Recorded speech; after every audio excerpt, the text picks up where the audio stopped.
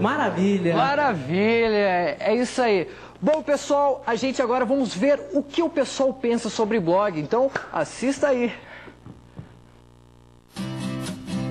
Sobre blogs, eu acho que não pode faltar informação, coisas para nossa idade. Não pode faltar opinião. Acho que uma linguagem para nós, imagens, para não ficar chato. Eu gosto bastante de acessar viagens, assim, turismo, maquiagem, roupas, que a gente acaba se inspirando para, por exemplo, alguma festa.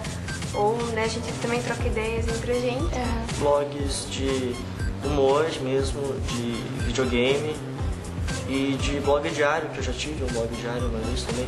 Era sobre o a meu dia a dia, sabe?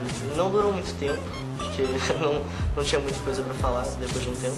Era bom pra desabafar. Mas você falava o quê, assim?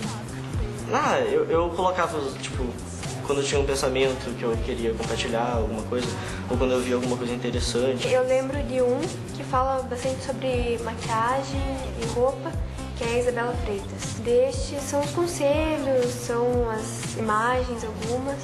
O jeito de que ela escreve o blog bem pra nossa idade, então a gente se identifica bastante. Na minha opinião, tá mais em alta página no Facebook. É, Todo mundo já tá no Facebook, sabe?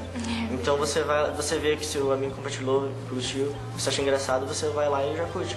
Então tá tudo junto, de um jeito. Mais É acessível. mais, é, é mais fácil, você consegue ver os comentários mais fácil também.